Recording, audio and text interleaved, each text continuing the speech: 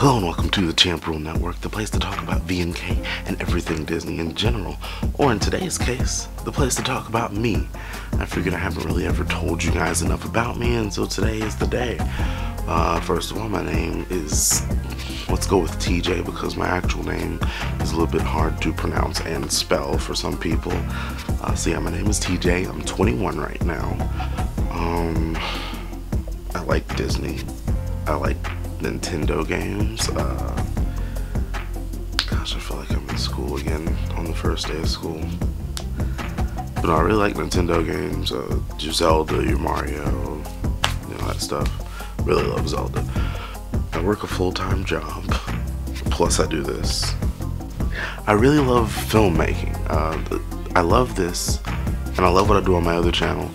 But eventually, I want to do like short films, which maybe some will go over here, maybe some will go on my other channel, maybe I'll have another channel for my short films. If you guys don't know about my other channel, it's Charlesvin 1993. That's where I do skits and vlogs and stuff. But I haven't done anything recently on that channel because I feel horrible. Um, yeah, I guess that's all I have to say right now. Um, if you have more questions for me, leave them down in the comments or send me an email.